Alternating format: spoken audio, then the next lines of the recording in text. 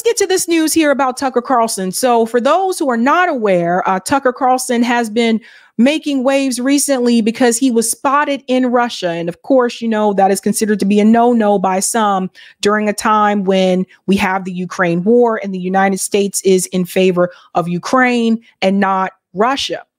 So people were speculating is Tucker Carlson there to interview Putin? And would that be a problem or not? We'll go to Simon Ateba here. He actually captured this video Sputnik. Says Tucker Carlson leaves the Kremlin after interviewing President Vladimir Putin. At this point, it was just alleged. We didn't know, you know, for sure. But you can see they're saying that that was actually Tucker Carlson uh, in that vehicle, is what they believed, and that he was leaving the Kremlin. So let's go ahead and check. We're walking through a sequence of events here. Here's another one from Hotspot that says Tucker Carlson leaves Russia with his recording equipment. It looks like we can expect an interview soon. I'm got to tell you, people were on it, okay? People were on this. So there's the equipment there, and there's the same vehicle, right? So neither one of those guys was Tucker Carlson, just FYI. There's the vehicle exiting there. So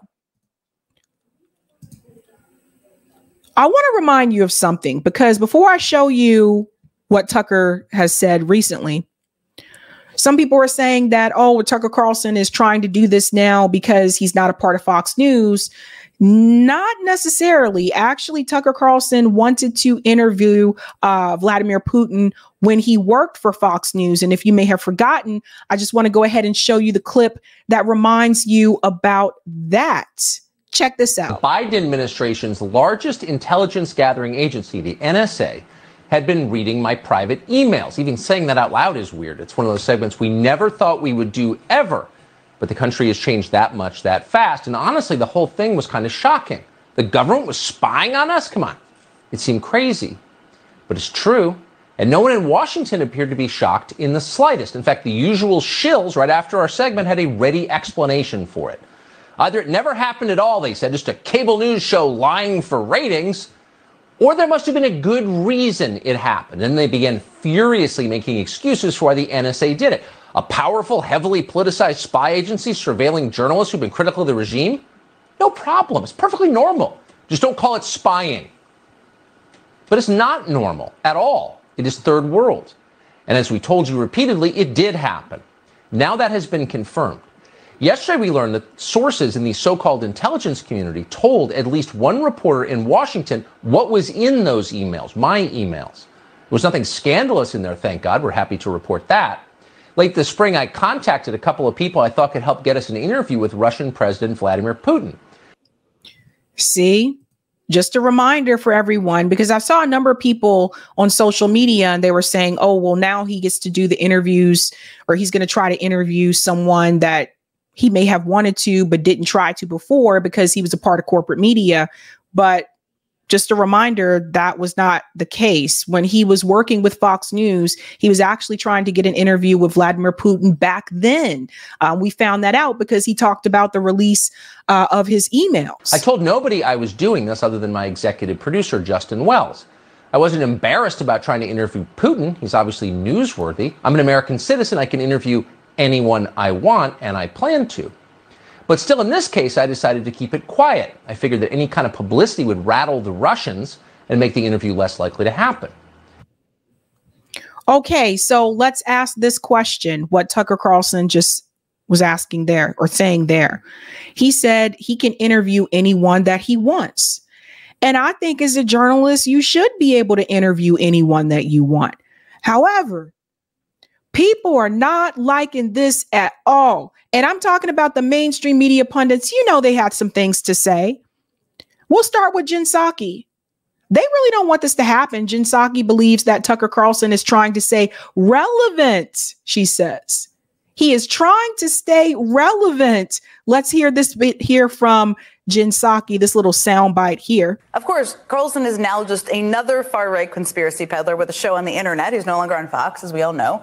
And he's apparently been spending the last few days in Moscow for some reason. Who knows? We don't know why. He has to stay relevant somehow, so I guess we'll learn in the coming days. Maybe. People can say that about Jen Psaki, right? Because she was Biden's press secretary. People could say the same thing about her. Well, apparently, Jen Psaki is going to actually be a commentator for MSNBC now that she has resigned from her press secretary gig. Maybe she's trying to stay relevant somehow. People could have said the same thing about Symone Sanders, actually, multiple times. She went from Bernie to Biden and then didn't get the press secretary job and then, went to MSNBC. But anyway, the thing is, is you can see the criticism is already happening. And I want to ask you a question. What happened to the days when a journalist was actually supposed to get both sides of the story? I firmly believe, regardless if there is a war, regardless which side the West is on, shouldn't we hear both sides of the story? For example, if Zelensky can have interviews on CNN and MSNBC, isn't it only fair and appropriate for Vladimir Putin to be interviewed on those outlets as well? Or are we only allowed to listen to the perspective of the West? And these are questions we have to ask ourselves. We got to ask these questions because we have CNN out here that is very upset that Tucker Carlson is in Russia and there's a possibility for him to interview Vladimir Putin. As if, again, we're not supposed to hear both sides of the story.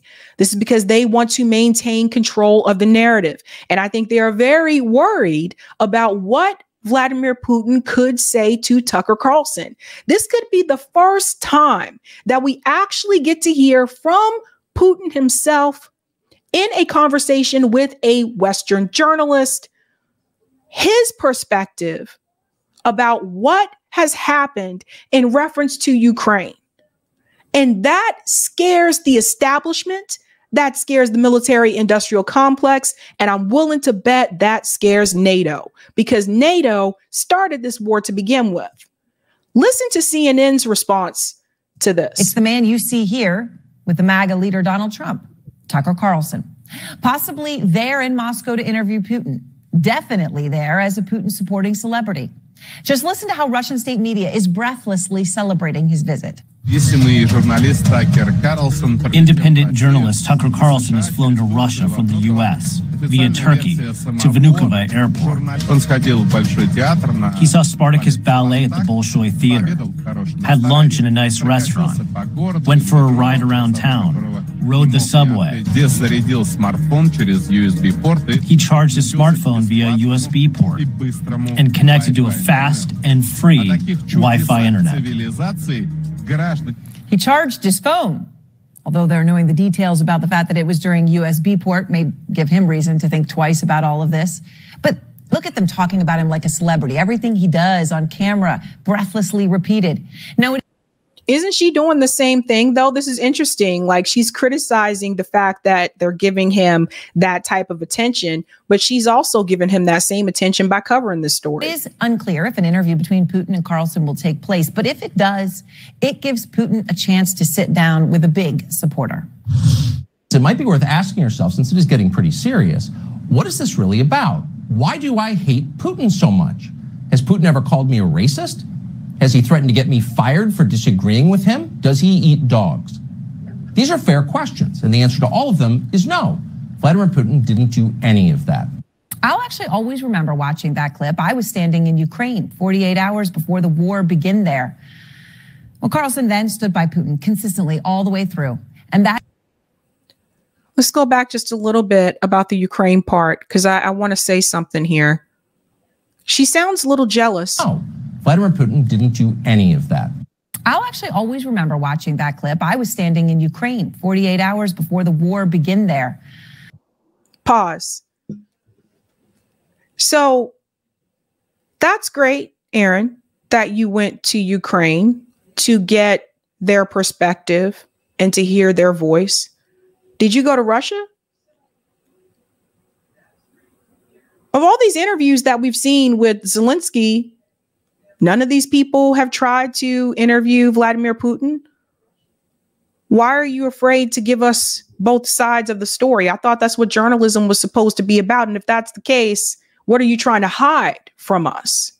And Erin comes off a little bit jealous here, almost, it seems like, right? Like, well, while you were there, I was in Ukraine doing da da da. It's really weird.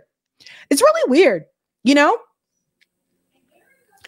They have failed with the narrative about the Ukraine war because they wanted everyone to get on board and say, we have to push back against Russia. And some of us were over here sitting like, push back against what? They had the Minsk Accords. They actually wanted to have negotiation in the beginning, but then it was later revealed that the United States and the United Kingdom pushed back against that negotiation, which means that the United States and the United Kingdom just wanted them to go to war. So the US government is involved in this. And again, it's a win for who? It's again for the weapon contractors and the military industrial complex. It's not a win for the American people. It's not a win for Ukrainian people. A lot of Ukrainians have died.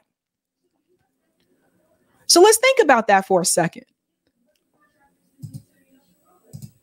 Well, Carlson then stood by Putin consistently all the way through. And that is why he can go to Moscow now without any fear of being summarily imprisoned. He's a hero. This was Putin's mouthpiece in the United States, somebody who had turned a blind eye to the atrocities committed by Putin because they were happening far away. Once vibrant towns turned to ruins, mass graves with dozens of bodies in the Kiev suburbs. Oh, that sounds familiar. That sounds very familiar because we have the mass graves and the rubble in Gaza. You didn't want to talk about that, Erin. You were talking about the 1,200 people that were killed at the festival in Israel. Genocide in Gaza, had it not been for the protests, you wouldn't be covering that side of it at all. Us, the activists, we had to push you to talk about those things. But when those things happen to Ukraine, you could talk about that because Israel's not involved. Theater full of innocent women and children sheltering, bombed despite the giant world children written on the roof. More than 200,000 Ukrainian soldiers killed or injured.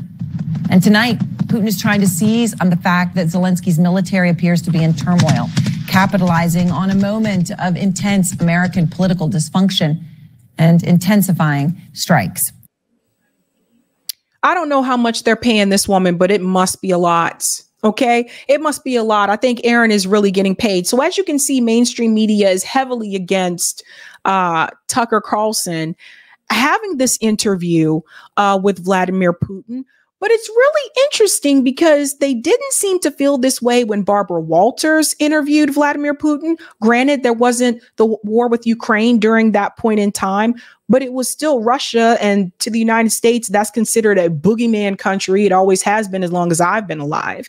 And if it's not coming from mainstream media, it's coming from Hollywood through movies and TV shows where they demonize Russia and have us think that these are big red scare people and they're going to try to kill us all. I've seen this my whole life, even when I was a little kid, right? Rocky Four, Rocky Four. But Barbara Walters interviewed Vladimir Putin. And I don't remember mainstream media pushing back on her when she sat down and had this interview with Vladimir Putin. In fact, Barbara Walters was applauded for taking brave interviews and taking on guests like this. So, what has happened? What is this really about? And I'll show you here. Here's Barbara Walters. And Putin. I would say that the United States is losing not in the military, but in the information it seems to me that on the information field, terrorists are acting more aggressively and more offensively, and they are presenting opposition in terms of emotions. As to the military dimension, in our assessment, things happen the way they should. I would say that the United States is. So you see this? So here's Vladimir Putin, and there's Barbara Walters. Joy Duncan says, I saw someone bring up that Barbara Walters often interviewed world leaders and controversial leaders, people, and she was called brave. Exactly. This is what I'm saying. So, what has happened, folks? What has happened? Is there jealousy involved? There could be some of that. Well, Tucker Carlson finally did break the ice and decide to tell people what he is really doing in Moscow. I saw this earlier today. Uh, he is having that interview with Vladimir Putin, and he's also going to explain to you why he is deciding to do it. Listen to this. We're in Moscow tonight. We're here to interview the president of Russia, Vladimir Putin. We'll be doing that soon. There are risks to conducting an interview like this, obviously, so we've thought about it carefully over many months. Here's why we're doing it. First, because it's our job. We're in journalism. Our duty is to inform people. Two years into a war that's reshaping the entire world, most Americans are not informed. They have no real idea what's happening in this region here in Russia or 600 miles away in Ukraine. But they should know. They're paying for much of it in ways they might not fully yet perceive. The war in Ukraine is a human disaster. It's left hundreds of thousands of people dead, an entire generation of young Ukrainians, and it's depopulated the largest country in Europe. But the long term effects are even more profound. This war has utterly reshaped the global military and trade alliances and the sanctions that followed have as well. And in total, they have upended the world economy. The post World War II economic order, the system that guaranteed prosperity in the West for more than 80 years, is coming apart very fast, and along with it, the dominance of the US dollar. This piece right here is incredibly important the dominance of the US dollar. We've talked about this before with BRICS. We've talked about how other countries like South Africa and China and Russia have come together uh, as a part of BRICS, they do not want to depend on the US dollar anymore. Uh, this is important. This can affect us. So when people say that foreign policy doesn't affect us over here, yes, it does. So this is important that people need to understand what could happen here with countries that are choosing to have a multipolar world. We're not a part of that. And we're not a part of that not because we don't choose to be, we're not a part of that because the US decided a long time ago that they were going to be a dominant power. They don't really want to have any type of horizontal uh, organization. They don't want a multipolar world. So, what people have to understand with Tucker Carlson having this interview with Vladimir Putin, it's not just a I'm going over there because I want the popularity and all that kind of stuff it's more so related to what he's talking about here in reference to the economy as well, which will affect us. Uh, we may be the, the biggest power, the biggest, baddest, or whatever around the world now, but things are changing. And other countries are choosing to align with each other and push back against the United States, even if that means creating their own currency. So people have to understand that this actually does matter. This is important. And I think, if anything, I think one of the worst things that we can do as a country is to continue to paint Russia as the big bad boogeyman, which I don't believe, by the way. And I think there's been a lot of lies that have been said about Russia. And to find a way to have some type of peace. Let's continue here. These are not small changes, they are history altering developments. They will define the lives of our grandchildren. Most of the world understands this perfectly well. They can see it. Ask anyone in Asia or the Middle East what the future looks like.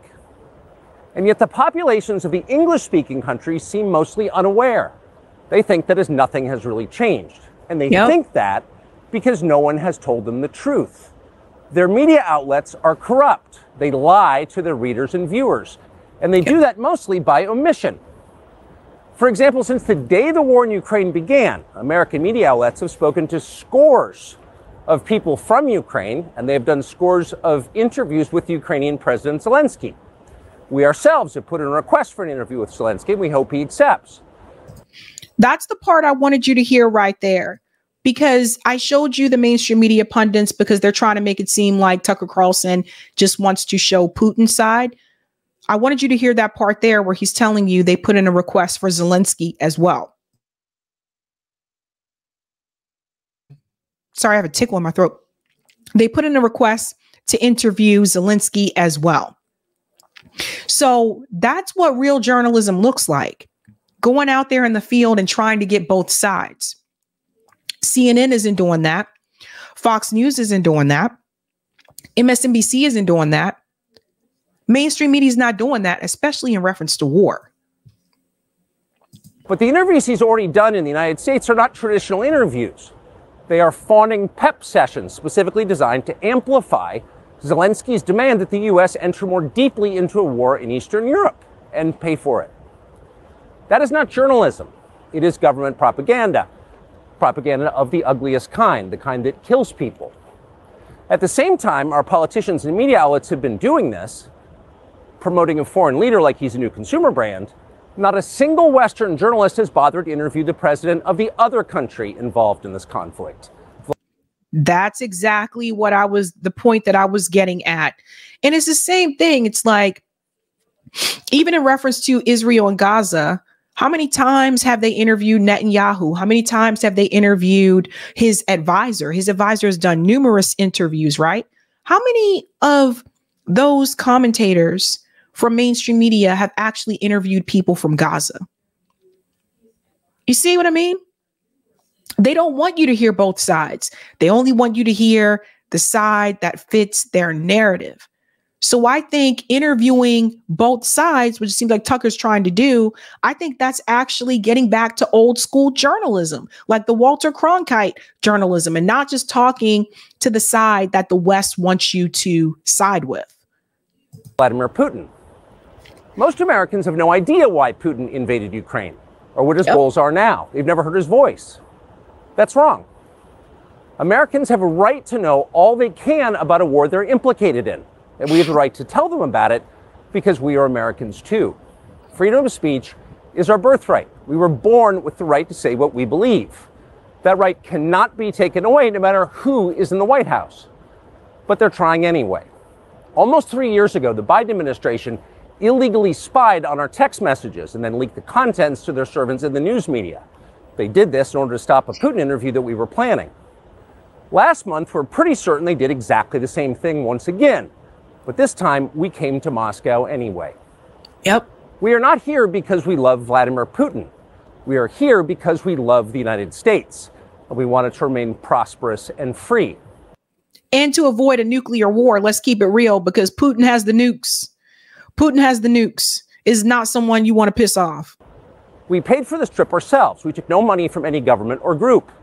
Nor are we charging people to see the interview. It is not behind a paywall. Anyone can watch the entire thing, shot live to tape and unedited, on our website, tuckercarlson.com. Okay, so you'll be able to see the interview on his website for free. You don't have to pay for it, no paywall. You guys know I don't do paywalls on the show, but no paywall. But the other thing I want to mention too, and I want to give a warning to all of my YouTube peeps out there in the atmosphere. I would hold off showing that interview on YouTube because I have a feeling that YouTube is going to pull that. I think if anyone wants to cover that interview, maybe you should cover it on Rumble and Rokfin. But I think it would be dangerous to cover that interview with Tucker and Putin on YouTube because they're probably most likely going to pull it and they'll probably try to shut you shut you down. Just keeping it real. Elon Musk, to his great credit, has promised not to suppress or block this interview once we post it on his platform, X, and we're grateful for that. Western governments, by contrast, will certainly do their best to censor this video on other less principled platforms because that's what they do. They are afraid of information they can't control. But you have no reason to be afraid of it. We are not encouraging you to agree with what Putin may say in this interview, but we are urging you to watch it you should know as much as you can. And then, like a free citizen and not a slave, you can decide for yourself. Thanks. So, this is important. We never actually heard from Vladimir Putin why he decided to invade Ukraine. And I think it would be doing uh, damage to the American people to not actually hear uh, his side of the story. And I would say that with any conflict, I think you should hear from both sides, not just the side that the West supports. This is often why I, I think in a lot of uh, foreign conflicts, American people become uh, heavily propagandized because I go back to the war in Iraq. I remember the lie that was told to us that Saddam Hussein had weapons of mass destruction. That was a lie. uh, didn't have weapons of mass destruction, but they told that lie so that we could go uh, to war with Iraq. And just imagine if journalists in the United States actually would have been permitted to interview the other side so that you heard both sides of the story, right? Something like that, something similar to that did happen during the war in Vietnam. But I told you after that war, they decided we are not going to show civilian casualties on TV in reference to war because there was a lot of unrest back home in the States when people saw those videos, when they saw the kids being killed, when they saw the women being killed. You know, a lot of those soldiers that came back from Vietnam, the ones who did make it back, were called baby killers when they came back into the United States. So I think that's very important for people to understand. You should hear from both sides. And we should all be questioning why our media has been hiding that from us. They've been doing us a disservice, right? Again, because they only want us to hear one narrative.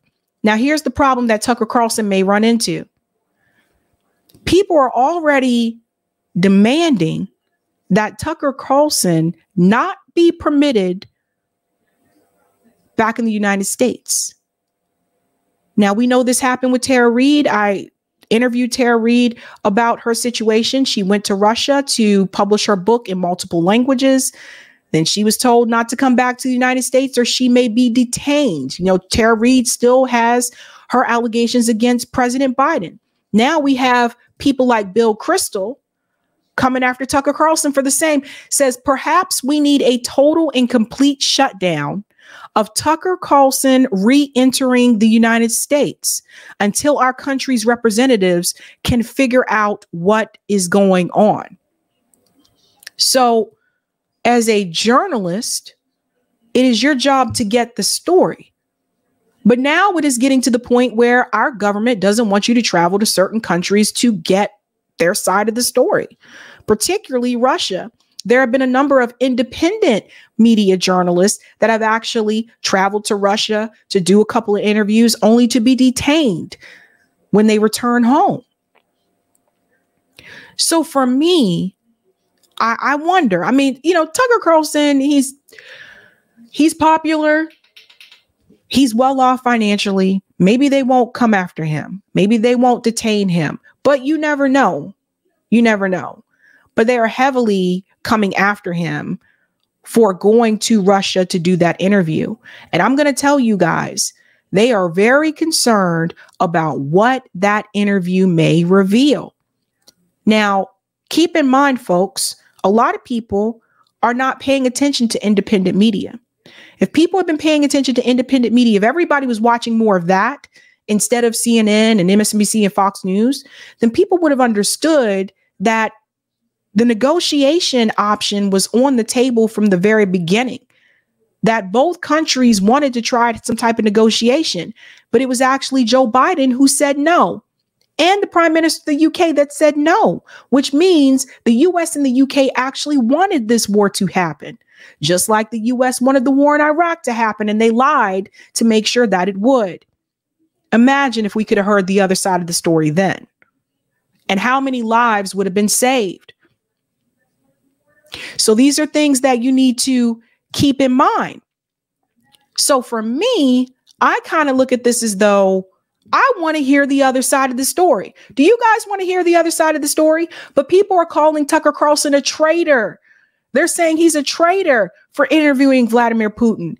What happened to just doing journalism? Hmm? Now, I'll show you a funny piece here. Someone sent me this. So, did Vlad not say hello to Netanyahu even after sitting down? Now, apparently, this is from a couple of years ago, this is in 2020, the world leaders at the Fifth World Holocaust Forum in Jerusalem in January 2020. Watch this. You'll notice even here, apparently he was not feeling Bibi. Watch this.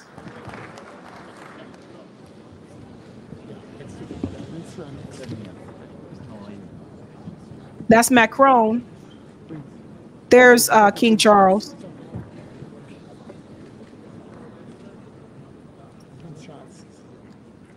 He's sitting right next to him and doesn't acknowledge him. He leaned over to shake King Charles' hand. He's sitting right next to Netanyahu and doesn't even acknowledge that he is there. That was hilarious. It is really interesting. I thought you'd get a kick out of that. But what did you guys think? How did you feel? Let's see the poll result, Eric. Do you think that Tucker Carlson is being a traitor by interviewing Vladimir Putin? Interesting. 1,952 votes. Is Tucker a traitor for interviewing Putin? 4% of you said yes, 91% of you said no, and 5% of you said, I'm not sure. That is interesting. Interesting. Well, one thing is for sure, folks, ladies and gents.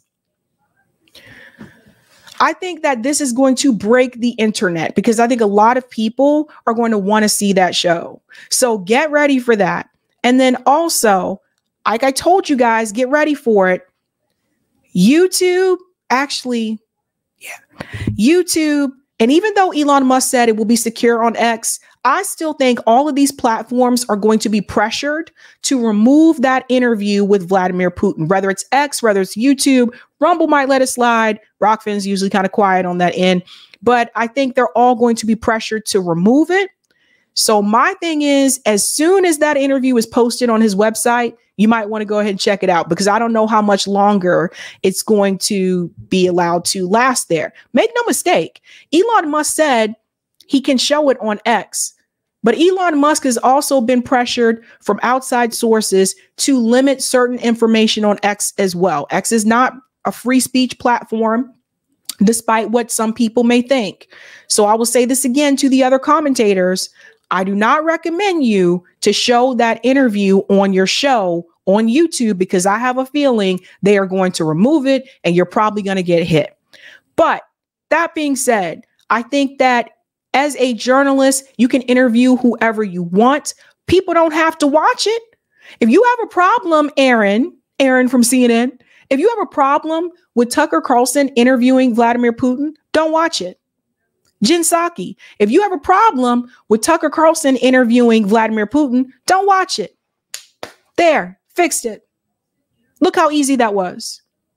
But what we should not be doing is smearing people, censoring people,